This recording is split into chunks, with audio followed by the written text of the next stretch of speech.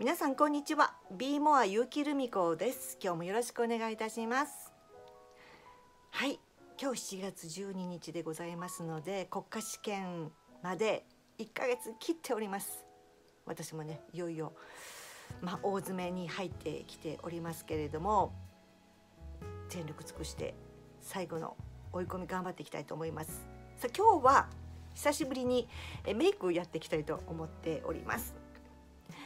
気になる商品やっとゲットできたのでね今日はやっていきたいと思います。それがまたねほんとねいいやっぱりね噂通りいい商品だなと思って今日は作成することにしました。それは川北祐介さんプロデュースの &B なかなかね品切れ続出でなかなか買えなかったんですよね。いかに人気が今非常にあるかというのがねわかるかと思うんですけれどもね。これで私がまた紹介すると店頭なくなるかな。そんな力ないないないない。はい。あのよくねあの店頭であのアンドビーさんの上にこうね YouTube されてらっしゃるんですよね。川北さんが。女装した YouTube、えー、のこうビデオが流れてたりとかするんですけれども。特にこのねあの UV プライマーは爆発的に今売れてるようですね。あの本音でこう検証するあの LDK っていう雑誌ご存知の方いらっしゃるかと思うんですけれどもその UV プライマーで1位を獲得した &B 下地ってそんな変わるかなっていうのはね正直私も思ってたんですけれどもいやいやこれがこれがねほんとあのなんていうかなつけた瞬間他のと全然違うんですよねやっぱり。それをねちょっと細かく、えー、伝えていきたいなと思います。そしてクッションファンデですね。いややっぱり便利ですよねクッションファンデ。え川北さん自身リキッド派かなの方あまりクッションのことはあまりあのクッション派ではなかったんですけどやっぱりねこうね、えー、こう日本もねクッションクッションってね、えー、他メーカーさん大手メーカーさんも作り出したらアンドビーさんも作る作らないわけにはいかなくなったんでしょうね。はい。このねまたクッションファンデまあ私もねそんなクッションファンデねたくさん使ってはないんですけれども一番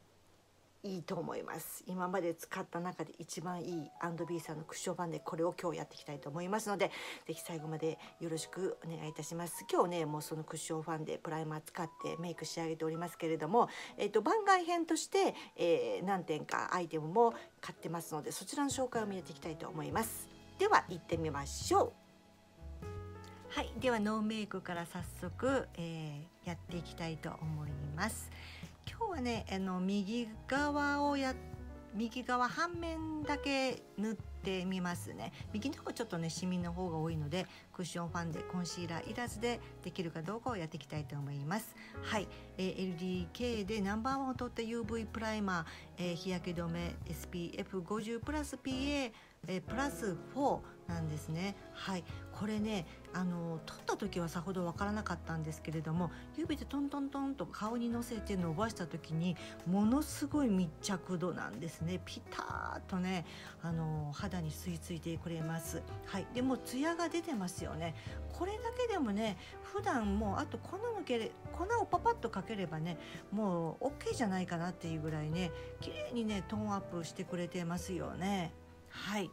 でこれノンケミカルなので石鹸で落とせるっていうのはこんだけ密着度あるのにね石鹸で落とせるっていうのがすごいですね。はい。では &B さんのクッションファンでいってみたいと思います。私はライトベージュを買っておりますこれ1回ワンプッシュするんですけれどもこれ実は顔全体分の分量になります。ただ今日は半面しか塗ってないので極端にすごくね色が白っぽく出ていますけれどもこれはビデオなので分かりやすくするためにもうこの分量で半面を塗っています。はい。トントントントンとね頬の高いところシミの多いところにのせていってますけどもこの時点でツヤがもうかなり出てますよね。カバー力もすごいです。いややっぱり時短になるっていうのが本当クッションファンデはいいところだなっていうふうに感じていますね。はい一瞬でカバー。力抜群なりしかも最近流行りトレンドのツヤ感も出してくれるっていう部分に、えなってまいります。でこのままではやっぱりちょっとテカテカしすぎなので私は一旦、えー、水にこうクッションを含ませて、えー、ちょっと油分をね多少ちょっとね取って今から行くんですね。はい、でこうすることによっててより肌に密着して化粧崩れがこれリキッドされててもこの工程は必ず入れた方がいいと思います。夏場は特に入れてください。この後ふんわりとパウダーの方を、えー、かけていってあとこう全体に白いのでシェービングを入れるっていう形にシェーディングを入れるっていう形になります。はい。右と左見ていただいて違いお分かりになられましたでしょうか？はい。フルメイク完了しました。いかがでしたでしょうか？はいえーと、その他のことをね今日のメイク何を使ってやってるかっていうのをねやっていきたいと思うんですけれども、えー、プライマー使ってクッションファンデ使って、えー、やっぱりこのね、えーと、シェーディングは必ずやっぱりこう陰影をつけるために入れております。で眉なんですけれどもこれは実は &B さんなんです。これねえっとこれは結構前に半年前ぐらいに買ってていいなと思ってて。で眉尻。眉尻ってやっぱり取れやすくなりますよね。これは筆タイプなんですね。で非常に描きやすい筆なのでこれを眉尻に使って眉を描いておりますでアイシャドウなんですけれどもやっぱりねあの、まあ、荒赤になってくると、まあ、2色作り3色使いのねアイシャドウを使うんじゃなくって私はもう、えーと、マイナスメイクアイシャドウはマイナスメイクをしていく方向に行っていますですので今日は、えーと、バックステージさんのこのピンクこれをね2色混ぜてアイホールにぴょんとのせてるだけです。でまあ、これだけではねさすがにね目元寂しいのでアイライナーを引くんですけれどもその中でこれいいなと思って夏はこれをでいこうと思ったのがセザンヌのジェルライナーなんですね。これブラウンとグレージュ使っグレージュなんです。今日はねグレージュ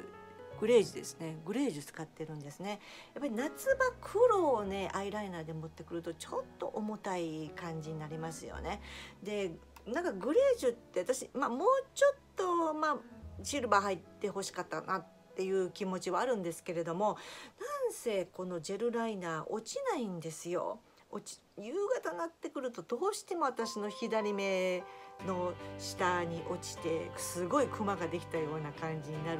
ライナーが多いんですけれどもこのセザンヌさんはね安くてねいい仕事してくれるなと思ってこのセザンヌをつけております。色目も本当非常に綺麗なのでね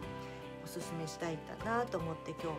えー、伝えてみました。あとねそうそうえっ、ー、とマスカラなんですけれどもこのエトセのマスカラの下地を買ったんですね。下地がないとなかなかボリューミーがないなと思うんですけれどもねこれねちょっとグリーンなんですね。ちょっととグリーングリーンというかこうモスグリーンですかね。ダークグリーン。で下地なんですけれども見ての通りこうくし形になってるのでつけやすいんで今日それしかつけてないんです。でもしっかり上まで上がってキープしてくれるんですね。だから普段はもうこの下地だけでもいいかなっていう感じでねはい思ったりとかしてますので今日はそのエトゼの下地だけしかつけてないです。あとねビューラーでこう上げてるだけとなっております。今日はだいたいこんな感じでメイクしております。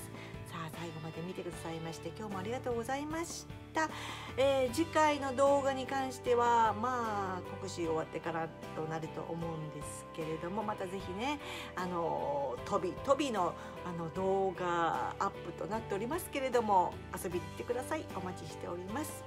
今日も見てくださいまして本当にありがとうございました。また次回元気にお会いいたしましょう。さよなら。